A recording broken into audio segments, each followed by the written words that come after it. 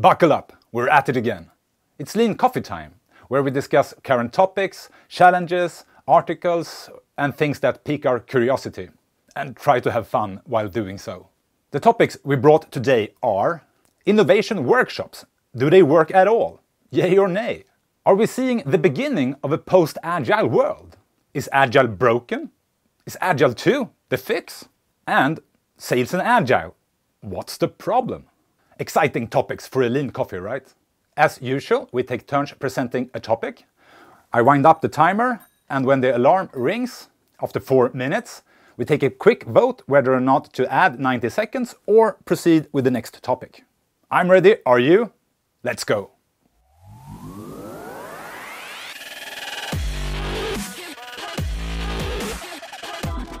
Hello and good evening or good morning or happy lunch. I don't know when you're watching this. Welcome back to another episode of Lean Coffee. My name is Jimmy Janlén. Hi, I'm Leila Ljungberg. Hi, I'm Anders Ivarsson. Hello, my name is Jagannath Tammeleht. So nice to see all of you and uh, welcome all who's watching this, whenever that is. So yeah, let's get going. Let's start with a check-in question. Uh, Jagge, uh, what are you currently looking forward to? Yes, uh, I am actually rebuilding my kitchen right now for the first time. So I'm looking forward when that's done. Anders, what are you looking forward to? I'm looking forward to it soon being socially acceptable to sing Christmas carols at home. well, uh, I'm actually going to an alpaca farm tomorrow uh, that's going to be so much fun. It's a dream come true. wow.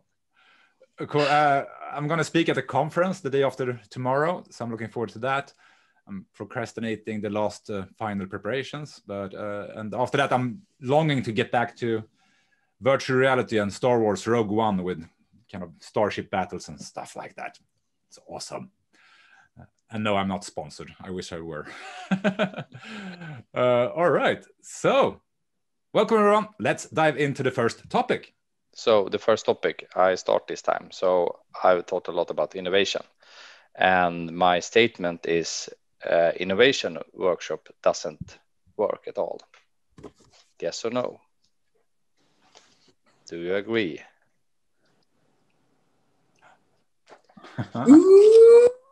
Interesting. Interesting. Um, uh, timer. Yep. So uh, what what what I have learned, or when I was in this more, uh, I was on a lot of a lot of different um, trainings, uh, seminars, workshops around innovation and how you create innovation and what structural problems that can be there to stop your innovation and uh, the dilemma of innovation in big companies and small companies and so on. And what I realized is many many of those uh, trended workshops uh, tend to get inspiration from big companies like uh, Apple, uh, Netflix, or HBO, whatever, uh, where they are very very bold and take big leaps and invest a lot and create innovation. And of course, we don't read about everyone else, but that also comes to my conclusion that maybe all of this innovation comes from a group of individuals that either are mad, crazy, or genius, depending on how it's going. They they don't need this innovation structure; they just go for it, and that's what's great innovation. It's more individual based than process based. But sorry, just jumping in. yes okay, so being the behaviorist here in this company, I also think that okay, if you have one of these crazy geniuses, and if you're fortunate to have this person as a CEO, yes, of course, crazy things happen, and Tesla is born, etc., etc. But if you think about the bigger picture and like the amount of people, I think creating a structure, creating an environment for people to be able to let go, to be able to release all of those crazy ideas mm. might generate so much more ideas from so much more people who might not even think that they have innovation within them from the beginning. Yeah. And I do think that you need to like give space for this to happen. So yes, do you have a fantastic CEO who is crazy? Yes, crazy shit will happen, but otherwise you need to create the space. I think. I totally agree. And once once in a, once in a while you get you get this kind of divine intervention in your head with a brilliant, crazy idea, but I think it's like writing or any creative process. It, it's work, and you need to allocate time for that. So if you want innovation to happen and creativity, you can't sit around and wait for this divine mag- magic to happen in your brain. Uh, it's it's work. You have to allocate time and explore and do all these boring post-its and. So I, agree. I, I, really agree with Jimmy. I, I think it's. Uh, I think the ideation itself is not the hard part. If you put 10 random people from a company in a, in a, a, workshop, they will have plenty of brilliant ideas for what they could do. I think the hard part is taking these ideas and turning them into reality or allocating budget for them, giving them the space to actually explore them. And that turns into a much more predict- predictable process of validating ideas and testing things and scaling up and yeah, failing. Exactly. And but uh, is, is, it, isn't isn't that uh, the, the, exactly what I mean? Uh, isn't that the real problem? the execution yeah, yeah, because some people doesn't need support for that they just do it anyway and then in, in all companies or ideas comes from someone doing something that seems impossible from the beginning um, probably. But but instead of building this uh, structure maybe finding the right persons that are a little bit crazy somehow and doesn't take a no for a no and doesn't beat get beat down just raise up and keep pushing because it's, it's the same thing when you do organizational change. You get so much much hit you just keep pushing because you believe the idea. So I but even the craziest person can be beaten down in the wrong environment indeed then you should move to another it, it rang it rang uh, uh, continue yes no yes no Yes. Oh, I'm adding 90 seconds. Continue, whoever was talking. no, I just said that the craziest person can be beaten down in the wrong environment because I also think that, as I said earlier, if you're a CEO, you have the execution power. You can make things happen. Mm. But I've been the crazy person in uh, not so very crazy companies. And then you're just seen as this person who should be put on the street. Yeah. you're not, you know, the rock star. You're rather the crazy person with all the crazy ideas who nobody can execute. Uh, I don't think it's either or. It's it's yes, brilliant, awesome if you have these crazy people with crazy ideas uh, once in a while. But I also think it's about the culture allowing them or allowing any idea actually actually to be explored. Uh, kind of having the freedom and autonomy to go at things and try them out. But I think the problem with many workshops, I think innovation workshops, that may might leave a sour taste, is that they're poorly executed. So you have all these brilliant idea ideas. You open up Pandora's box, and people leave the room feeling so excited, and then nothing happens. Yeah. Mm. I think that's, a, as I said, a, a, much bigger problem. I also think there's different types of innovation. So there's just like a small portion of innovation that comes from these crazy ideas and spur of the moment thing, and, and it becomes this disruptive idea. I think there's mm majority of innovation is much more of like a strategic nature of, of saying like here's a hole in the market and there's still innovation needed to to fill that hole or to come up with the solutions uh, mm. but it's a much more structured approach to finding the problems and solutions. Is it is it time up already? It is. It was too fast. Yeah. All right so. Yeah, I, I, I'm, I'm, I, yes, uh, innovation. I'm going to be, uh, but maybe my my idea is that instead of trying to rebuild the whole culture and structure because that's a big thing, maybe understand who is most successful would be probably the most successful to drive this idea to, to, to the finish line and the team around it and the person around it. So it's more about not care about that exactly. It should be it should not be a smooth ride. Otherwise it's not innovation. But that it need to be tough anyway. A person great at coming up with crazy ideas is probably really really bad at uh, executing them. Yes yeah, the finish line. That's a that's a different person. Yeah, yeah but uh, different phases it, but in your question Jagge, isn't it also um, the problem of the innovation process the innovation like there's trending a lot of these kind of different ways to push and drive innovation in organizations yeah. which usually seems to like being blown out of proportions and not really actually work in reality yeah and uh, this idea ideation uh, you know you validate and that's very nice but i think the ingredients is who is going to run this because mm. it's not for everyone it's mm. never going to be like that someone likes it someone's very good at it so who's the entrepreneur to push this through the system or whatever. So uh, I, am missing that one, the, the, human side of the crazy people that are going to drive ideas. Yeah.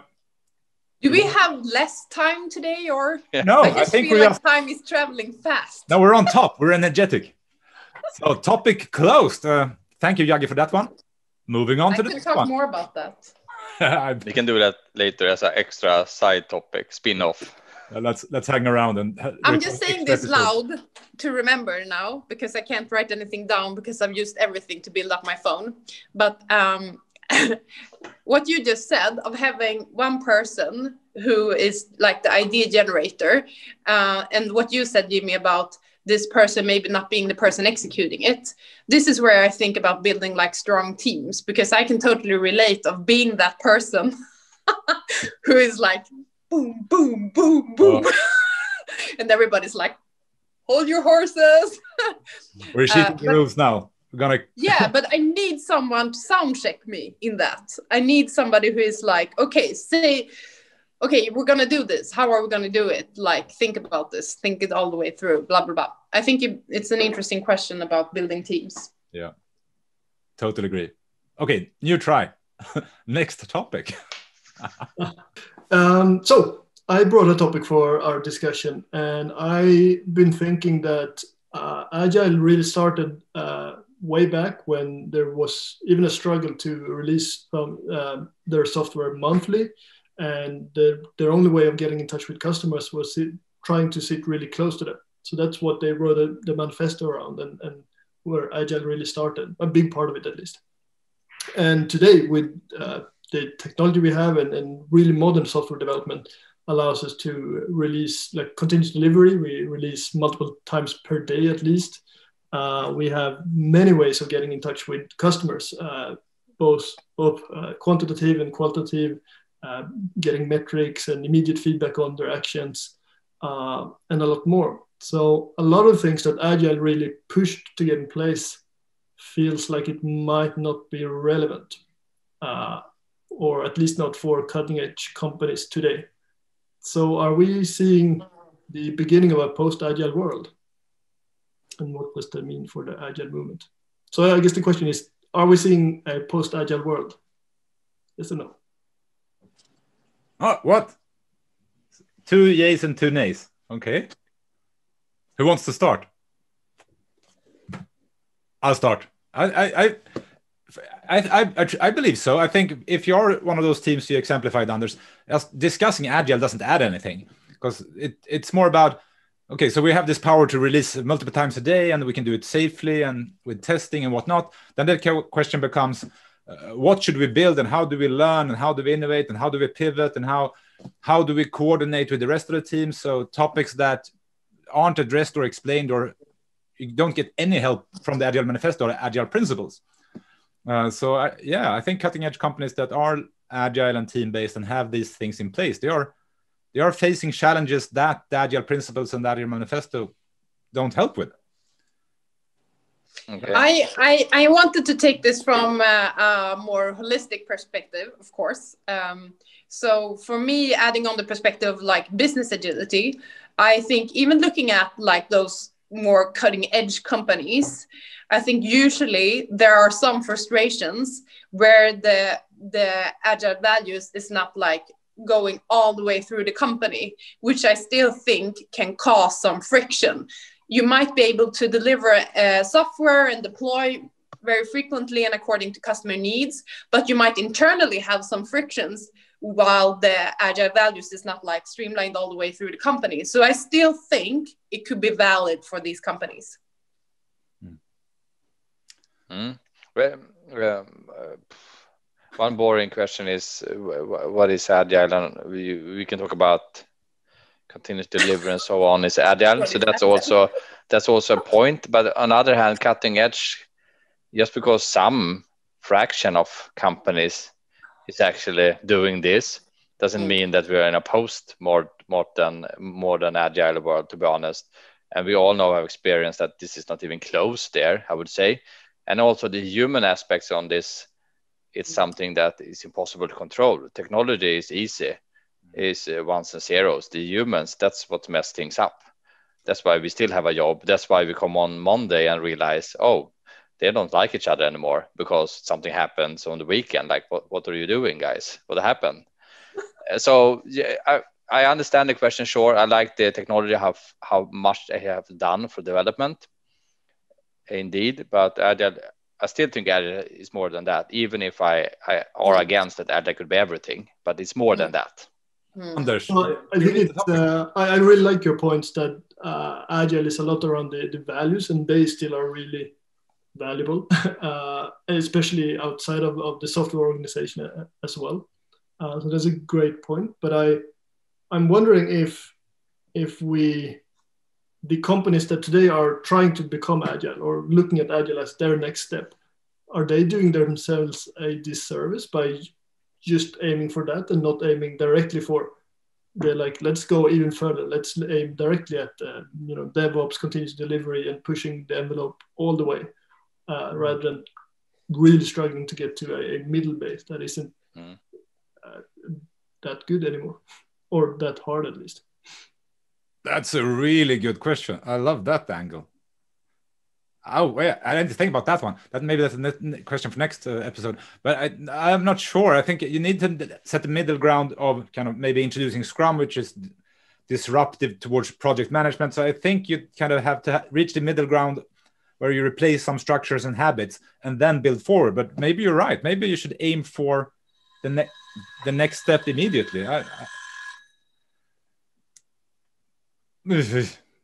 Okay. My my next question, my follow up question will then be, if Agile, as we know it today, the Agile Manifesto, and then uh, started by from software, and it has then spread out to like values that we find are, are like broadly applicable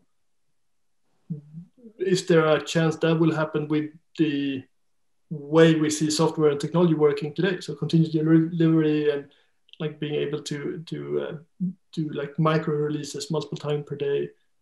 Does that translate into new values, and does that hold the next evolution of of uh, business agility, where uh, like normal agile applied to business isn't that interesting? But I think the problem from the beginning is that we're not even in the first step. So like there's you're you're a forward thinking person. but I think from a business agility standpoint, we're not even at the first step. So we're still in like annual planning. We still have like HR life cycles. We still have like annual budget years. And, and also innovation think, workshops in innovation workshops exactly so i think the problem is also that looking at that perspective it does also affect the the daily deployments because if we're looking at software teams that actually are way ahead as you're talking about and do deploy etc etc we want these people to stay motivated and engaged to be able to have this efficiency. Mm-hmm. But if we then have like reward systems etc etc that still causes a lot of friction that might be a threat to that efficiency. And i still i think that's the situation. Quick vote i'm happy. All right cool ah topics tonight. I love this. Moving on to the next topic.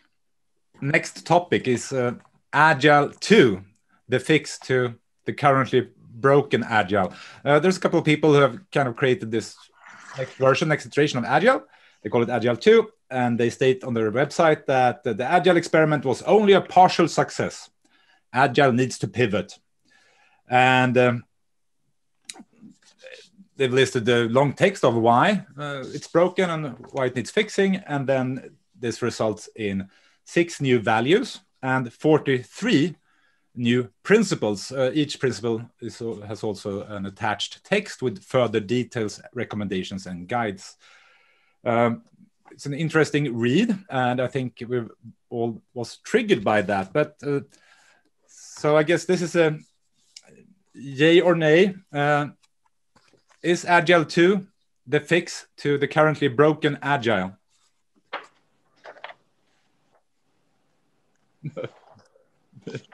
what, what do you have? Up, upside down. All right. So I'm starting the timer here. Who wants to shoot first? Mm, I, I, think this is um, first. I think this is like a um, kicking on someone already lying there in the mud, because of course, like what the what the fuck. uh, but if I look at from a broader perspective, it's like, does the world need more frameworks around the agile? Is it broken? I don't know if an, uh, if anyone said it was the fix from the beginning, and if people just spend more time on actually doing some value for, for, for, for the world instead of making up random frameworks that we don't need, I think it would be better for everyone. And this is, goes to all framework creators. Stop doing that and get a real job. For me, it's oh, it, there's some good stuff in there, some great principles that's kind of obvious, and some are weird, weirdly vague, and some are weirdly specific. But agile is just a tool. It's it's like saying. Uh, the hammer is broken, but I fixed it. I created the hammer dot two, and you can screw screws with this one. So it's, it's just they've just invented another tool that's gonna suit in other situations, or this probably suits in their context. I just need to say that, like, don't make that sequel movie. we all know it doesn't work.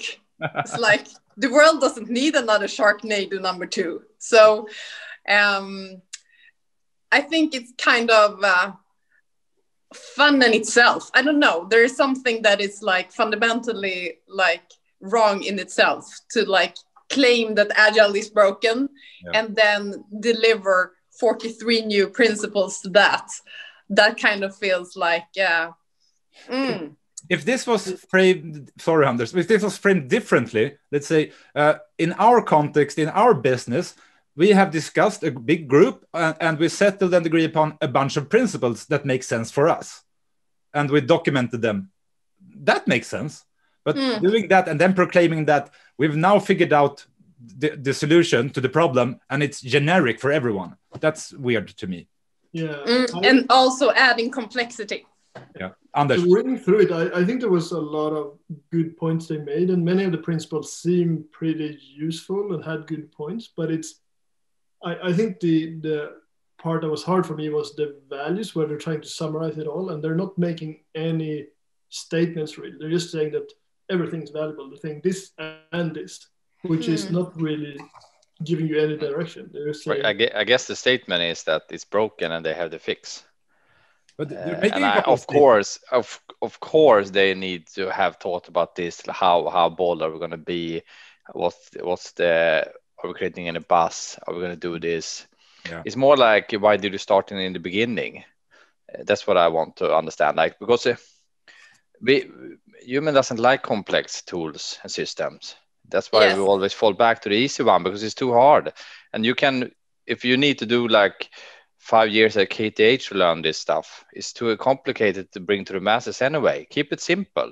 Stupid yes. simple. It's too I'm, hard. I'm, I'm totally onto that track yeah but from a system thinking perspective like trying to solve complex issues with an even more complex framework that's just stupid we all know that so it, it doesn't work and we can't handle that much data we're not able to like put all of these situations together and as you said anders there are also no straight answers in this so it's just adding complexity by saying that this is right and this is also right.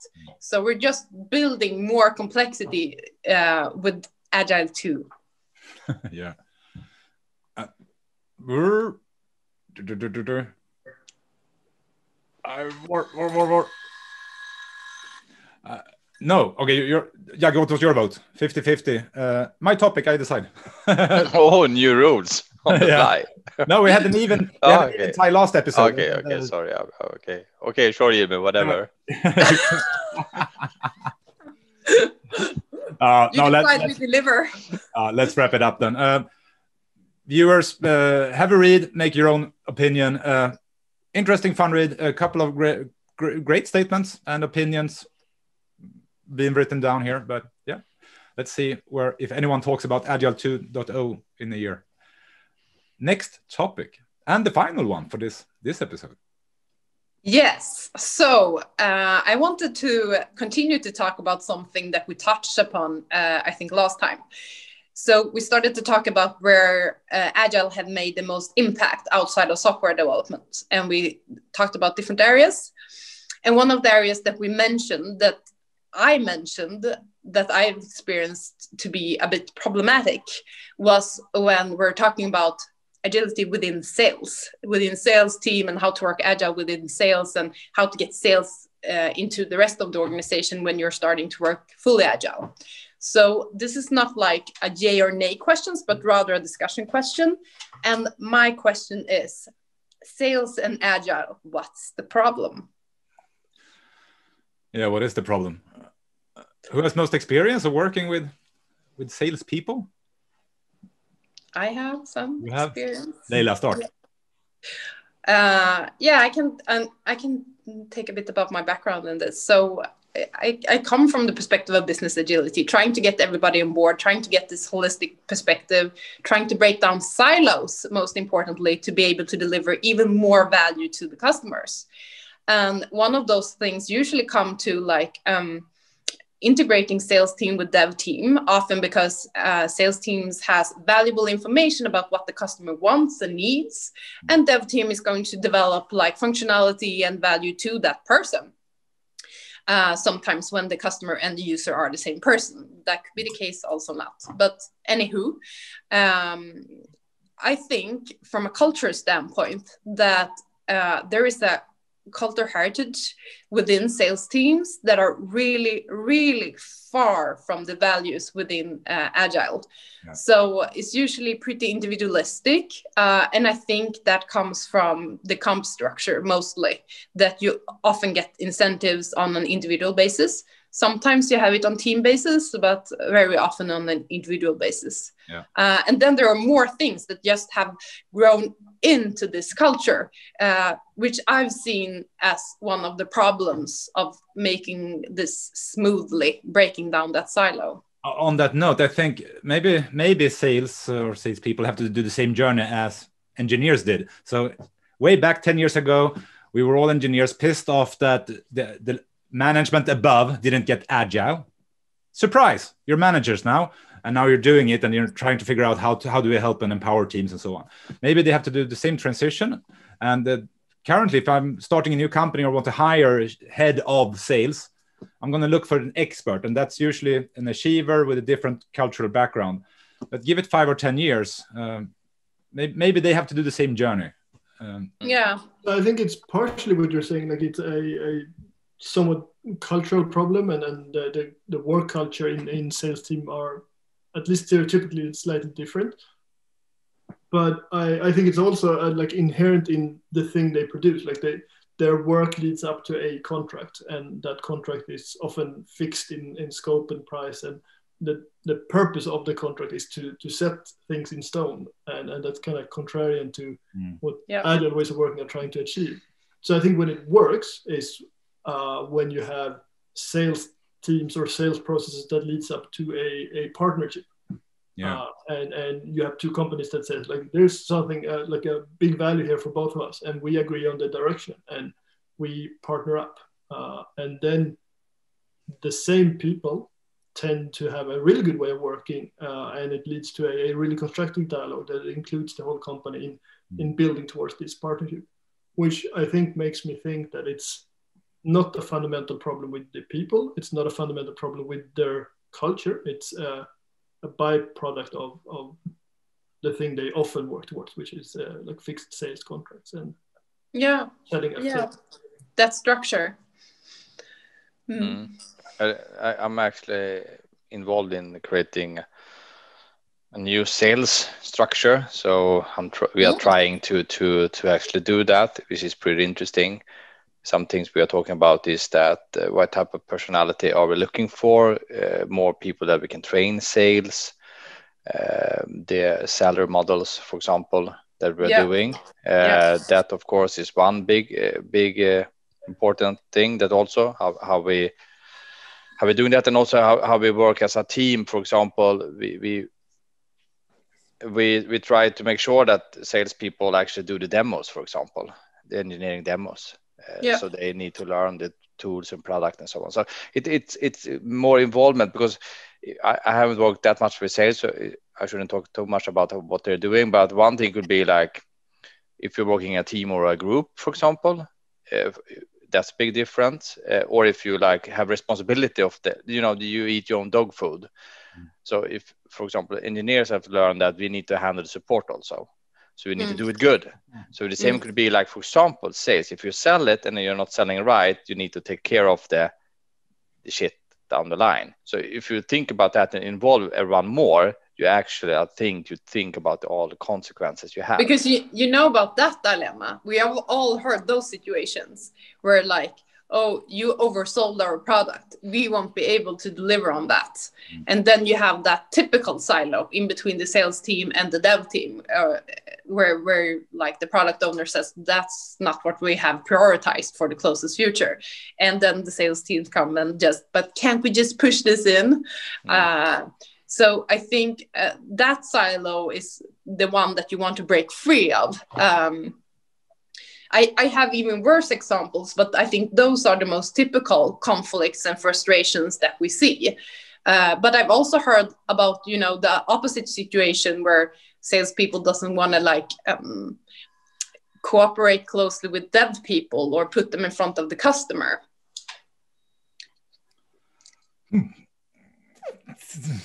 All right. so three against one. Uh, I'm curious. Yeah, you have a follow-up question. So, what's what's the learning so far? So, you're currently trying to improve on this or working mm. with it, mm-hmm. or? I mean, the learning is that um, every, everyone can be a salesperson.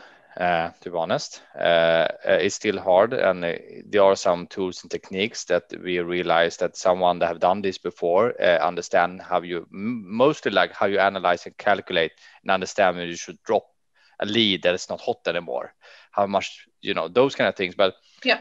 we want to have the mentality right and then come in with someone that can help us with that. But start with the like people that we really want to be they can do a lot of different things. Help out with onboarding customer journey and you need to have broader re- responsibility. So you you understand that you need to take care of the customer later also. Yeah. it's a full stack salesperson Oh, someone follow up questions. When so you're are you looking and recruiting for new people to these roles? Yes. Uh, uh, that I had an interview before this one for that, and I have one tomorrow. So it's it's a difficult role, but it's it's interesting. Can you say anything about the reactions you get when you explain the this this new way of working? Or uh, so far good because this is not salespeople I'm talking with. Mm, this is people with thing. Mm. different skill set. They they are comfortable with talking with customers and those kind of things and understand SaaS product and onboarding and can explain mm. difficult concept easy. Mm. Then we then they oh you talk about sales yeah but the, then I start to explain what they're supposed to do really and then they, they get mm. triggered hopefully. Enough. But maybe that's the thing. Maybe we're creating a new kind of sales profile for for the future. Uh, yeah. That tomato is so distracting. It is, right? I'm done. All right. That's a good, good I love, yeah. Yeah, good final line. Good final line. Thank you all. All right. Uh, so we're closing in on the wrap up. But as usual, let's summarize uh, key takeaways. What's uh, currently buzzing through your mind? Um, Dish. Um, I think I'm still back at my topic where I want to talk more about the technical capabilities and what they mean for us rather than talking about agile. and of course, the technical capabilities has implications on ways of working and values and other things. Yeah. So I think that's that's what's buzzing right now. Yeah, yeah. Yes. Um, first of all, I think I was a little bit uh, mentally tired during this meeting, but I think this probably was the best energy of this discussion. Hopefully, the viewers think the same. Uh, going on my head, I, I still have this sales uh, thing fresh because I was working with it. So it's pop up a lot of ideas at how we actually can change it, and uh, I think change is coming there also. To be honest, uh, so that's interesting. So over to you, Leila. Yeah, I think what's buzzing in my head is also um, the new sales profile of the future, uh, because that was something that I got a bit uh, eager to start exploring. Jimmy. I'm, I'm curious if any of the authors of Agile 2 will contact us. Uh, and I'm, I'm, I'm probably going to grab a coffee or lunch with you, Jagge, to hear more about the work you're doing regarding sales. All right. Uh, this was a blast as usual. Uh, thank you, Leila, Anders, and Jagge. And thanks to all of you who stayed around this long and listened to our discussions and rants and opinions and whatnot. Goodbye. Ciao. Bye bye. Coming up with fun and interesting topics can sometimes be a true challenge for us. So we warmly invite you to help us. If you have a suggestion for a topic or an article you would like us to cover, discuss, and debate here on Lean Coffee, please leave a comment below or reach out to me on LinkedIn, and I will send you a copy of my book, Visualization Examples. In the previous Lean Coffee episode, we discussed agile and sustainability, certifications, and much more. And click here to listen to Henrik Kniberg talk about test automation in Minecraft using Minecraft. I can really recommend it. Explore, have fun, be safe.